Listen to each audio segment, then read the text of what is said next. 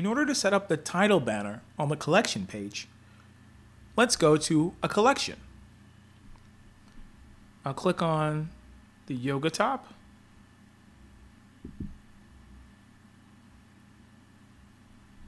And it takes me into the yoga into the yoga top collection. So now that I'm in a collection, right, and there's collections that you can find all throughout your site, then I'll look for title banner, which I could see on the left. And now I'm in my title banner section. Inside of the title banner, this controls your title, right? This title within your collection page section. So we have some settings. We first have this layout, and we could choose to change it from boxed to global default, from global default to full width background, or full width. So there's tons of options. We can also change the height, so we can increase it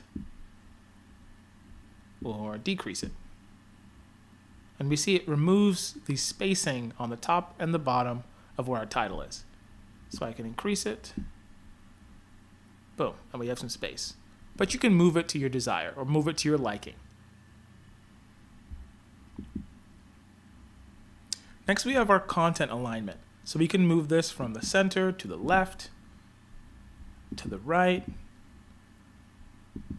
I'll keep it center. And we can also change the alignment from the top to the bottom. See, this is for the left and the right. This, these content alignment options are for the top and the bottom. So we can go top, middle, or bottom. See that? Really cool, really useful. You can play around to your liking. Um, okay, here we have our show title, and this allows us to see our title. And it's just saying, show us the title of our collection. So if I de deselect this, boom, it's gone. But if I click it, it's back. So you can choose if you want your title to show or not show with this uh, checkbox here. We next have our title size. We can change the size of it. Right now it's on medium. We can change it to small. That's really small. Or we can change it to base. Or we can go to big. I really like how big looks. Um, so I'll leave big for now, but you can change it to whatever works best for you. You have this option here to show collection description. What is a collection description? If I click it, it adds a description about my collection. So if somebody just ends up, you know, in your store and they end up in a collection, you can have it set where it will show the description. Right? So this is this will explain more about the products that will be found in that collection. The question now is, it seems kind of big. is there a way that I can limit some of this description to be shown? You can. So you can go to truncate description and move it from zero to, let's say, 410. And whenever you hit that max, you see it'll put those dots after it, right? So you can go all the way, right? So it's what this is doing is it's setting a limit of how many words you want to allow. So if you have it as far as possible, then if you hit or if you have less than 920 words, it allows it to show all of the words.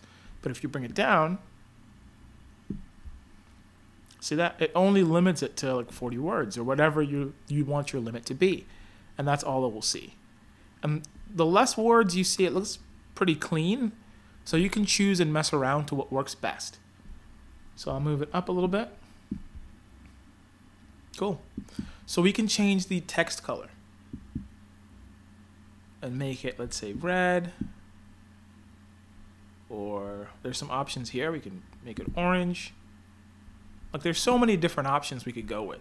And you can just pick and choose whatever works, or you can leave it as none and it will leave it as black. You can go to background color. Let's say you want to have an exciting background color to go with your, your store theme. So we can go with something blue. Boom. And I'll let everybody know, boom, this is something that I really want to show. So, you know, you can mess around with your background color to what works best. Blue kind of clashes with the orange, so I'll just do a quick swap. Boom. Maybe a little bit better, but play around with what works best for your situation. And we can choose to use collections featured image as the background.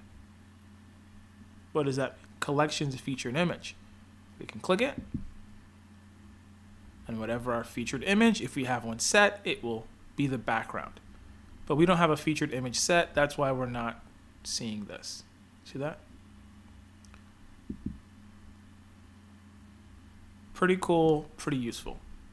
So then we have default background image. We can set an image, right? So here we're saying whatever the featured image is, you can make it as the background if this is checked. We could also just say, hey, we can set an image that no matter, uh, we can set an image so that is always going to be the image. It doesn't matter if we set it as featured or not. So I'll click it. I will choose um, booster, right, the booster logo, press select, and boom, it fits. We can now do cool things with it, like add an overlay. So what that means is, let me just show you. You can slide it up. See, it puts kind of like a little color over it. So what happens is it makes the background uh, kind of go into the background and the text stand out. So you can change it to whatever works best, as much like high as possible, as low as possible. Change the overlay color as well to like to green or something. Um, looks kind of not so great, but I'll press none. And so you can really just play around with it and make it something that fits. I'll make it black just so you can make up the text. Cool. And that's our title banner for our collection page. Thank you for watching this video. Please refer to our Help Center for more information.